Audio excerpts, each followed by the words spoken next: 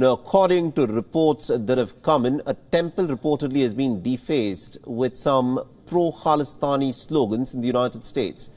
Now, the incident reportedly has happened at the Swaminarayan Mandir Vasana Sanstha in California's Newark city. Now, the Indian External Affairs Minister S. Jaishankar said that an inquiry is presently underway in the United States of America. I have seen it. ये ये अब इसकी तो हम माने जो जो हुआ है ये आप जानते हैं कि हमें चिंता है कि वहाँ भारत के बाहर जो जो एक्सट्रीमिज़म जो है, जो अलगावादी जो सेपरेटिज़म जो है, ऐसे ताकतों को स्पेस नहीं मिलना चाहिए। और जो जो हुआ है, हमारे राजदूतावास ने कौंसुलेट ने वहाँ आ, मुझे वो वहाँ की सरकार और वहाँ के पुलिस के साथ शिकायत की है और ये इस पे मेरे ख्याल से इंक्वायरी जारी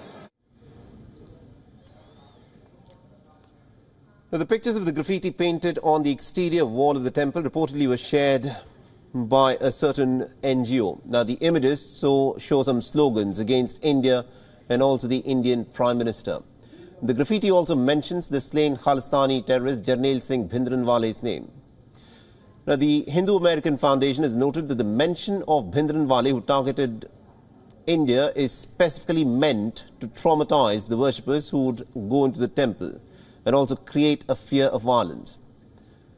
The Indian consulate in San Francisco has also condemned this incident and has said that it has hurt the sentiments of the Hindu community in America. It's also pressed for some quick investigation and prompt action against vandals by the U.S. authorities. And this is the latest amongst many such incidents that have been reported in the United States and also in Canada in recent months. The Khalistani extremist activities are on the rise in both Canada and in the United States. Meanwhile, the US-based Khalistani terrorist Gurpatwant Singh Pannun has expressed his support for terrorists who ambushed an Indian army vehicle in Jammu and Kashmir's Poonch on Thursday. Now, Pannun, in fact, called himself the spokesperson of the Kashmir Khalistan Referendum Front and has urged for a similar referendum for Kashmir as he has for Khalistan. And our principal diplomatic correspondent Siddhant Sibal, in fact, sent us this report. Listen.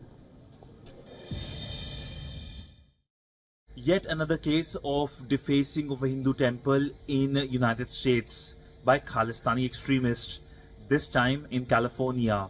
This has drawn sharp reaction from the Indian government. Uh, the Indian External Affairs Minister has denounced the development and said that space should not be given to extremists and terrorists.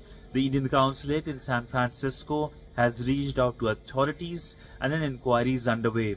But this is not the first such instance. In the past, there have been instances including threats by Khalistani extremists towards India, including by American Canadian citizen Pannun. He's a listed terrorist here in India and has threatened the Indian Parliament and uh, Air India flights as well. New Delhi naturally is concerned about these developments, but what is much more concerning is silence from Washington. Siddhant Sibal for WION in New Delhi. WION is now available in your country. Download the app now and get all the news on the move.